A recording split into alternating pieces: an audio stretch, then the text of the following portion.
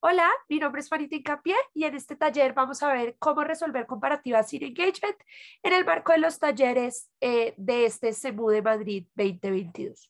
¿Qué vamos a ver en este taller? Esencialmente vamos a ver, eh, digamos que un encuadre principal de en qué escenarios hablamos de falta de engagement, cuándo podemos efectivamente usar lo que estamos viendo en este taller y cuando no es aplicable lo que estamos viendo en este taller. Y vamos a profundizar en los dos escenarios en los que podemos hablar de ausencia de engagement, que es contextos contradictorios o comparativas competitivas. Entonces, eh, digamos que empecemos un poco con en qué escenarios podemos hablar de ausencia de engagement y qué hacer o, o digamos como cómo identificar este tipo de escenarios. Hay dos escenarios en los que podemos hablar esencialmente de falta de engagement. El primero es cuando hablamos de contextos contradictorios o excluyentes y el segundo es cuando hablamos de comparativas competitivas. Entonces empecemos un poco con qué implica que haya un contexto, encuadre, framing, caracterización o la forma en la que ustedes entiendan el setup del debate que es contradictoria o excluyente, es decir, va en contra del principio de eh, digamos que de identidad. Yo no puedo ser A y B al mismo tiempo. Yo no puedo creer que el mundo funciona de X manera y de Y manera al mismo tiempo cuando son enteramente excluyentes o antagónicas. ¿Cuándo se dan esas situaciones y cuándo no? Empecemos con cuándo no se dan esas situaciones. La primera de ellas es no estamos hablando de contextos contradictorios o excluyentes cuando estamos presenciando un even if o un incluso sí. ¿Por qué? Porque en los casos de los incluso sí y de los even ifs, lo que, a lo que nos estamos enfrentando como jueces es una explicación por parte de un equipo de, claro, concedemos que esta es la forma en la que funciona el mundo, pero incluso si esa fuera la forma, hay otra forma en la que puede funcionar en casos excepcionales y hay una explicación por parte de los equipos de esos casos excepcionales. Porque aquí no estamos entre un contexto contradictorio o excluyente, porque lo que el equipo está haciendo es decir, mire, existen dos caminos y dos formas de que en la que esto se puede materializar o dos escenarios y esos escenarios no es que vayan a suceder al mismo tiempo, sino que pueden existir en dadas diferentes circunstancias y en ese orden de ideas no estamos diciendo que uno o que los dos existen al mismo tiempo. Y en ese orden de ideas no estamos hablando de contextos contradictorios o excluyentes. El tema de cómo juzgar incluso cis o escenarios diferentes, digamos que puede ser materia de otro debate. Y lo segundo es cuando hay contextos contradictorios o excluyentes, pero sí hay engagement.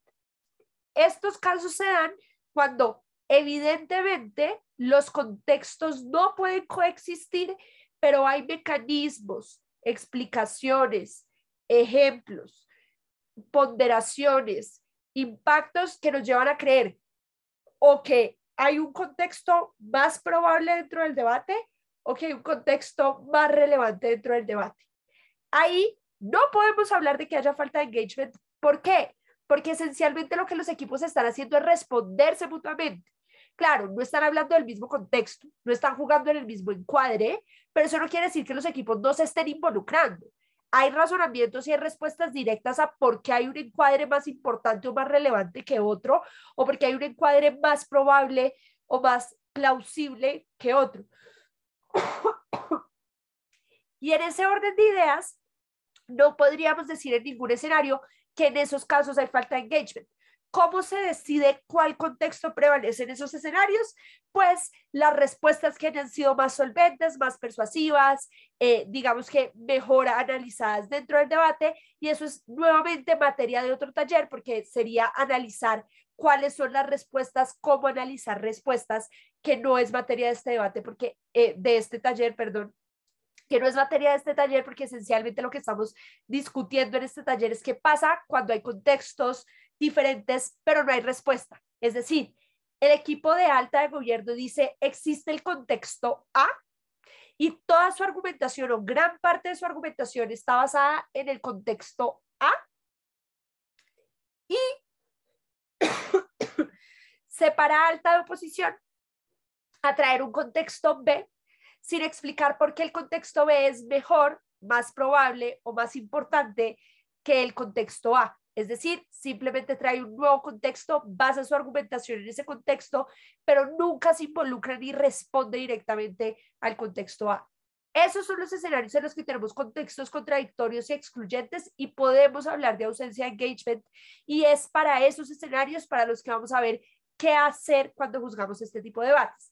Y vámonos con un ejemplo muy sencillo. La moción es, esta casa reemplazaría los, los eh, servicios de bienestar como salud, educación, vivienda, eh, eh, pensión de los ciudadanos por transferencias directas de efectivo.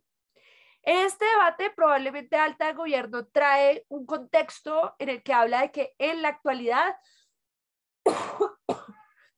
en un mundo capitalista hay mucha conciencia de responsabilidad financiera, hay acceso por medio de redes sociales, acceso por medio de plataformas de información a cómo manejar financieramente los recursos. Hay libros de finanzas para dummies, hay acompañamiento de diferentes ONGs para ayudar a las personas a ahorrar y en ese orden de ideas es altamente probable que con estas transferencias directas de dinero las personas no tomen malas decisiones y digamos que se gasten toda su plata o se me la plata en cositas, ¿no?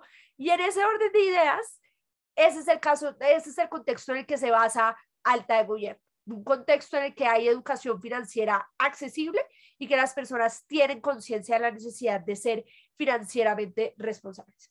Alta oposición, sin hacer engagement con este contexto, se parece dice que vivimos en un mundo muy desigual, en el que las personas no saben o no tienen conocimiento financiero, solo las personas de élite tienen conocimiento financiero las personas de bajos recursos no tienen acceso a bancos, por ende no tienen acceso a asesorías bancarias efectivas, son personas que piensan mucho en el corto plazo, son personas asediadas por deudas y generalmente en ese orden de ideas tienen que sacar, eh, digamos que no pueden planear a futuro eh, su presupuesto porque eh, digamos que está fuertemente consumido por las deudas y en ese orden de ideas estas personas no van a hacer un manejo adecuado de sus recursos. Evidentemente, estos contextos no, no, no pueden coexistir. Yo no puedo decir que las personas tienen conocimientos financieros y al mismo tiempo que van a tomar malas decisiones financieras o que son propensas a, tomar malas decisiones financieras. Si no hay explicaciones de cuál es el contexto más probable de forma comparativa, no simplemente decir en la mayoría de los casos, es decir, esto no es algo en el vacío. Yo no explico que hay un caso o un, contexto que es más probable en el vacío, sino que lo tengo que hacer comparativamente con el otro contexto. Si esas explicaciones comparativas o esos mecanismos de ponderación o de relevancia no existen dentro del debate, estamos ante un, un, contexto contradictorio o excluyente y es para ese tipo de contextos para los que vamos a ver qué hacer como personas juezas al juzgar ese debate. La segunda, eh, digamos que la segunda situación en la que se puede dar comparativas con ausencia de engagement o debates con ausencia de engagement es cuando hay comparativas competitivas, es decir, comparativas o métricas eh, competitivas dentro del debate. Que yo digo que lo más importante del debate es el largo plazo y alta oposición dice que lo más importante del debate es el corto plazo. Entonces pensemos en una moción como esta casa eh, integraría a las personas eh, con necesidades cognitivas especiales con las personas tildadas o, catalogadas como comunes o ordinarias en el sistema educativo. Evidentemente hay un equipo que defiende el largo plazo, que defiende evidentemente que esto va a hacer que como sociedad seamos mucho más incluyentes, que va a hacer que entendamos mucho mejor la neurodivergencia, que entendamos mucho mejor, eh, digamos que las situaciones de discapacidad social que imponemos como sociedad en las personas que experimentan este tipo de necesidades cognitivas y en ese orden de ideas vamos a ser mejores como sociedad en el largo plazo. Es decir, hay una comparativa de que lo más importante de este debate es el largo plazo. Y hay una comparativa de otro equipo que dice que lo más importante es el corto plazo, que las personas neurodivergentes van a ser fuertemente estigmatizadas, discriminadas, no van, a, no van a tener acceso a educación personalizada y en ese orden de ideas su calidad de vida y su capacidad de desarrollarse efectivamente y de auto, digamos que de autodesarrollarse va a ser fuertemente mitigada por esta decisión, que es, digamos que los impactos en el corto plazo que esto puede generar. Hasta algún punto no hay forma de decidir cuál de los dos es más importante, si el largo o el corto plazo. ¿Por qué? Porque no hay una comparación de cuál de los dos es más importante dentro del debate, de por qué me debería preocupar yo, cuáles son los mecanismos de ponderación que me hacen pensar que el largo plazo o que el corto plazo es más importante. Cuando sí hay engagement, cuando yo doy los mecanismos de ponderación para pensar ¿por qué el largo plazo o el corto plazo es más importante que la contraparte? Ejemplo, yo no solo digo que en el largo plazo las personas se van a poder adaptar, sino que doy un mecanismo de ponderación que dice que el largo plazo es lo más importante del debate, porque en el largo plazo va a haber muchísimas más personas que en el corto plazo y si estoy afectando a muchas más personas en términos utilitarios, voy ganando el debate. Eso es engagement. ¿Por qué? Porque yo estoy reconociendo que la comparativa del otro es el corto plazo y en ese orden de ideas estoy explicando por qué el corto plazo no es tan importante como el largo plazo. Mire que nuevamente, ¿cómo hacemos para identificar este engagement? Este engagement se identifica efectivamente cuando podemos hablar de no solo explicaciones de por qué algo es importante en el vacío, sino en comparativa con la métrica que impuesto la contraparte. Ahí hay engagement y nuevamente no es materia de este taller porque no estamos evaluando cómo o, no estamos estudiando cómo evaluar mecanismos de ponderación cuando juzgamos un debate. Entonces, teniendo eso en mente y ya sabiendo un poco de qué hablamos en este taller y en qué escenarios podemos aplicar lo que estamos viendo en este taller, pasemos efectivamente a ver qué hacer en estas dos situaciones en las que hay ausencia de engagement. Empecemos con los, eh, con los contextos contradictorios o excluyentes. Lo primero que tengo que decir es que, digamos que la forma en la que esto se utiliza dentro del dentro de debate, así como muchas cosas cuando eh, enseñamos cómo juzgar o cómo debatir, van a depender del contexto. Es decir, esto no es un checklist que si lo cumplimos efectivamente estamos juzgando correctamente el debate. Evidentemente esto se tiene que nutrir de muchas otras cosas, como ya les acabo de explicar. Tenemos que tener mucho conocimiento de si realmente hubo engagement, de si realmente las eh, respuestas eran comparativas o no, para decir si hubo engagement o no pero efectivamente debemos nutrir entonces, eh, digamos que esto que estamos viendo con otras herramientas para hacer más fácil juzgar y para garantizar que estamos siendo, eh, digamos que lo, lo más justes posible cuando juzgamos eh, un debate. Estas, digamos que estos criterios deberían ser evacuados en el orden en el que los vemos. Si el criterio 1 se da, no deberíamos, digamos que acudir al criterio 2, 3 y 4 que vamos a ver adelante. ¿Eso qué quiere decir? Que deberíamos ir como evacuando cada uno de ellos. No siempre se dan estas situaciones, pero en la generalidad de debates sí se da de esta manera. Entonces, ¿qué es lo primero que podemos preguntarnos eh, como personas juezas? Pues lo primero que nos podemos preguntar es cuál escenario es el más razonable. Ya que hay varias cosas que anotar, teniendo en cuenta lo que acabamos de hablar. sobre cuándo hay engagement y cuándo no hay engagement. Esta explicación de cuándo o cuál escenario es más razonable se da de forma implícita. Si se diera de forma explícita y comparativa, estaríamos hablando de que hay engagement y por ende lo que decidiría la comparativa es qué tan efectivas fueron las respuestas y no estos criterios que estamos viendo. Esta respuesta o esta situación se da de forma implícita cuando a través de razonamientos, ejemplificaciones, mecanismos, diferentes explicaciones dentro del debate, yo como persona jueza, sin que haya una comparación directa de los escenarios, me veo persuadido de que hay un escenario más razonable o más probable que el otro.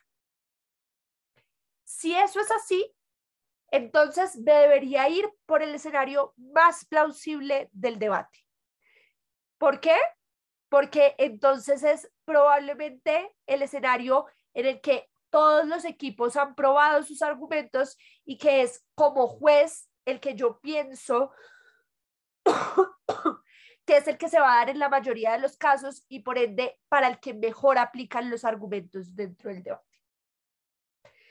Si realmente ni de forma implícita ni de forma explícita hay razonamientos o ejemplificaciones que me lleven a pensar cuál de los dos es más plausible, definitivamente o hay el mismo nivel de análisis o hay, digamos que no hay análisis suficiente en ninguno de los dos equipos, pues me tengo que preguntar cuál de los dos escenarios está mejor probado.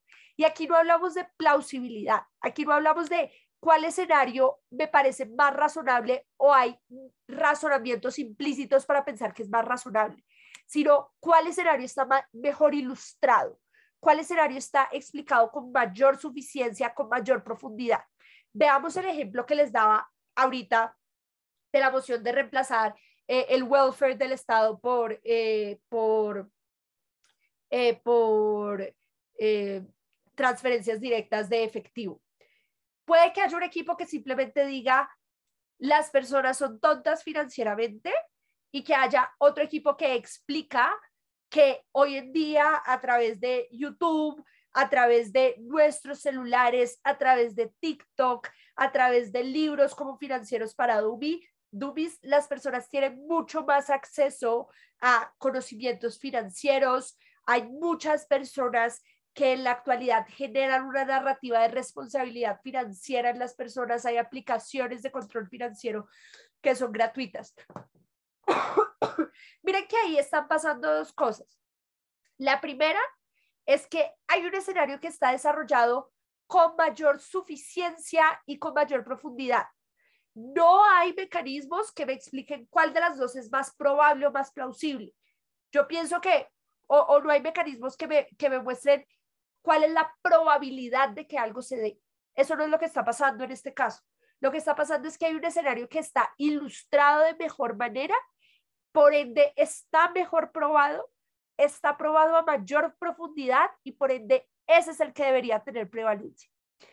En ese escenario, pues le debo dar prevalencia a ese contexto y evaluar el debate de cara a ese contexto. Ya vamos a ver eso de qué se trata al final, digamos que de este apartado del taller. si no podemos hacer ninguna de esas dos, es decir, no hay mecanismos implícitos de probabilidad y creemos que hay la misma suficiencia, eh, digamos que de análisis o de ilustración de estos escenarios, debemos ir al criterio número tres. Esencialmente, este es un criterio que eh, en la mayoría de casos dentro de debate no deberíamos tener que acudir a él, eh, principalmente porque generalmente eh, deberíamos como personas fuerzas hacer un esfuerzo por encontrar respuestas implícitas, por evaluar el nivel de análisis que tiene un, que tiene un argumento y es bastante difícil que el mismo nivel de análisis eh, sea exactamente igual. Pero si se llega a dar ese escenario, pues nos tenemos que preguntar en tercera medida cuál es el contexto que sería más razonable para, para una persona votante ordinaria inteligente.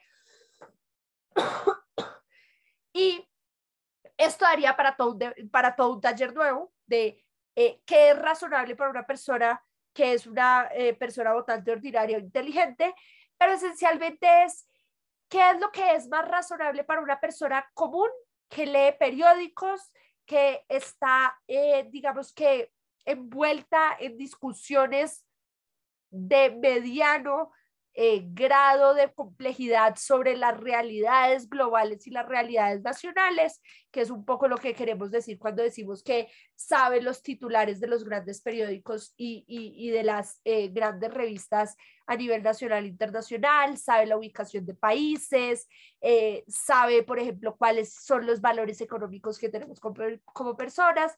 Esas son las cosas que, eh, digamos, que tiene en mente una persona votante ordinaria inteligente y son las cosas que deberíamos tomar en cuenta para decidir cuál de los dos contextos es, es más razonable.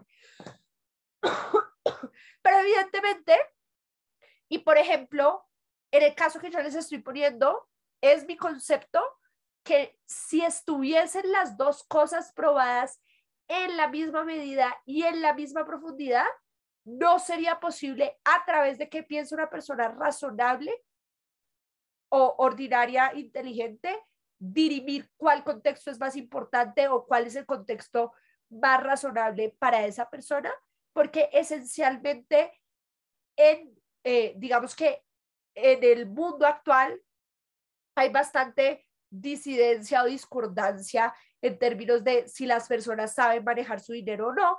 Y en ese orden de ideas, en este escenario, no podríamos usar este criterio número tres, sino que tendríamos que pasar al criterio número cuatro, que es cuál es el contexto bajo el cual ha debatido la mayoría de la sala, es decir, en términos de justicia, cuál es el debate que ha prevalecido dentro de la sala y por el cual yo me debería guiar, porque hay un acuerdo un tanto implícito de la mayoría de los equipos, o quién tenía la carga de responder.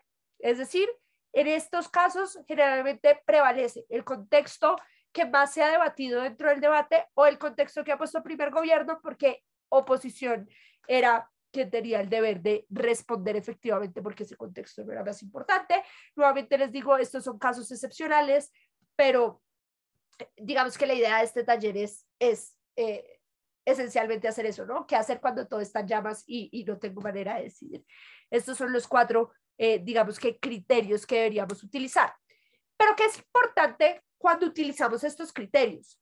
Lo que tenemos que saber es que cuando decidimos cuál es el escenario que prevalece dentro del debate, eso no quiere decir que los equipos que no hayan utilizado ese contexto o que no se hayan basado en ese contexto pierden automáticamente el debate.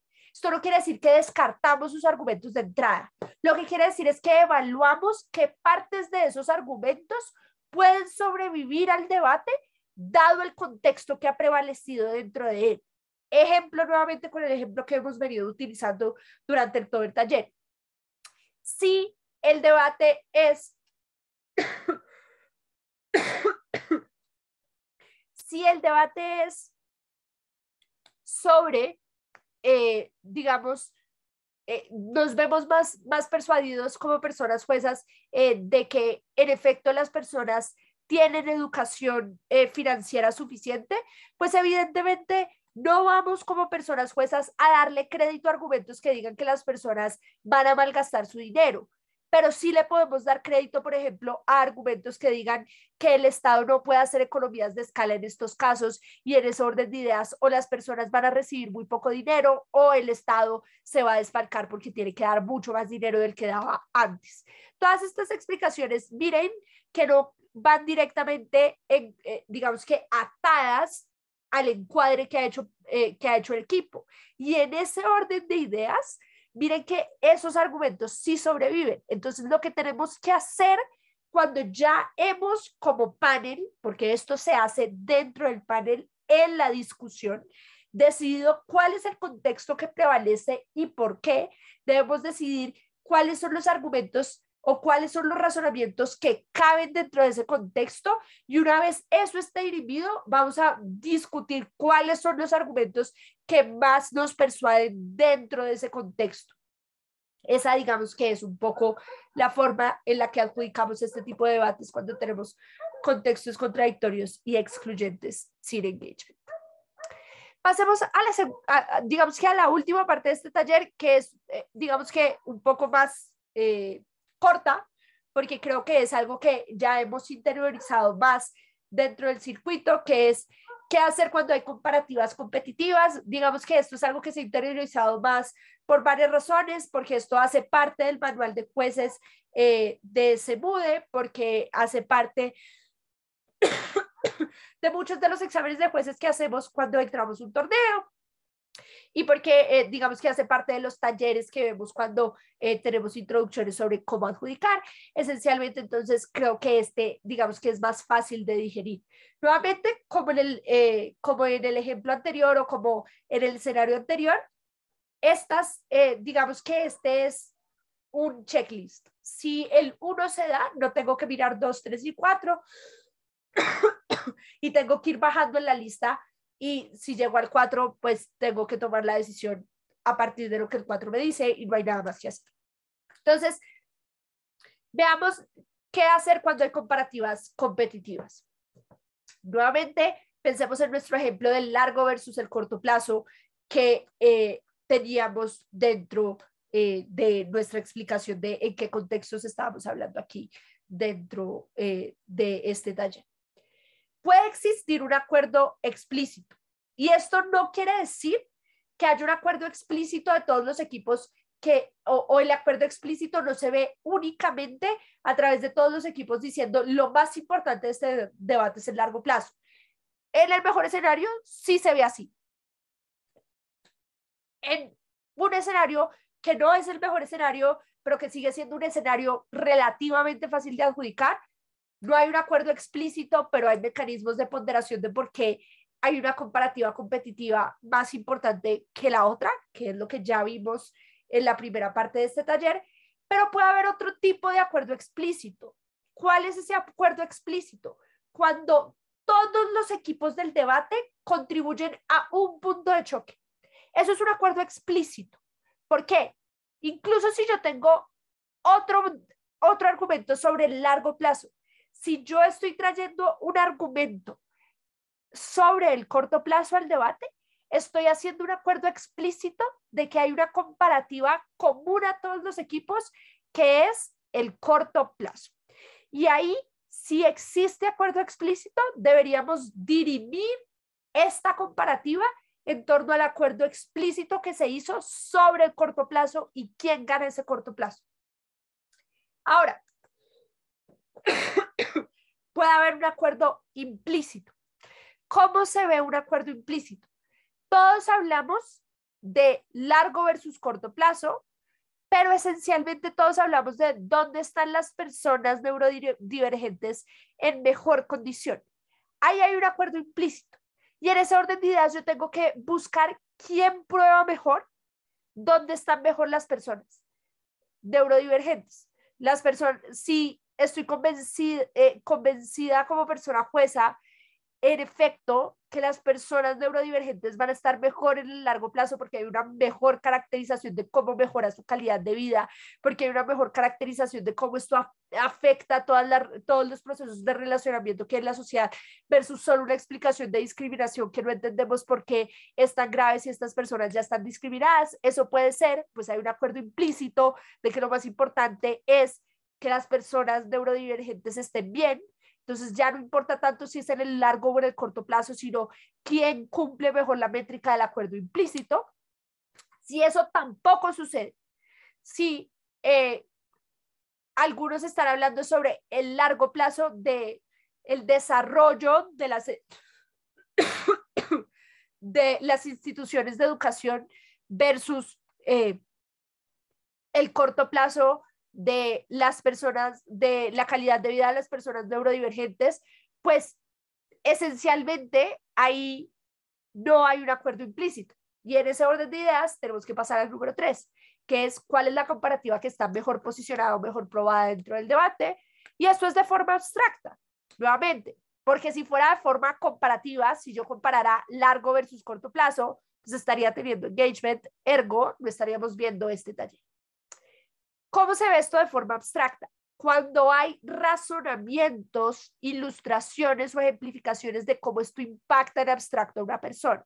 Cuando hay una explicación clara de por qué es tan grave que alguien sea discriminado o por qué es tan grave que alguien no tenga en el largo plazo acceso a la educación de calidad y a una educación en igualdad de condiciones. Este es un poco parecido al que veíamos en el segundo criterio de los contextos competitivos. Aquí estamos viendo con qué tanta suficiencia está probado que esa comparativa importa. no en términos comparativos, sino en términos de urgencia, en términos de ilustraciones de qué tan grave es que esto suceda. En ese caso, nos decantaremos por la comparativa que esté mejor probada en términos de suficiencia, de posición o de relevancia en abstracto dentro del debate. Por último, si esta tampoco es posible, pues nuevamente nos tendremos que decantar hacia cuál es la comparativa que escogería una persona votante ordinaria inteligente. Creo que ya hemos revisado un poco qué implica eso, cómo nos podemos guiar a partir de eso, pero esencialmente es tener una discusión dentro del panel de cuál es la más razonable para una persona común y corriente, para una persona que está informada, cuál sería la más importante. Y aquí me, gustaría hacer una anotación antes de terminar. Y es que es supremamente importante que cuando somos personas juezas, cuando evaluamos si existe o no existe engagement, cuando hay comparativas competitivas, tenemos que saber que los mecanismos de ponderación son como los argumentos. ¿Y esto qué quiere decir? Que no deberíamos darle crédito a un mecanismo de ponderación que no está explicado dentro del debate, sino que está meramente afirmado.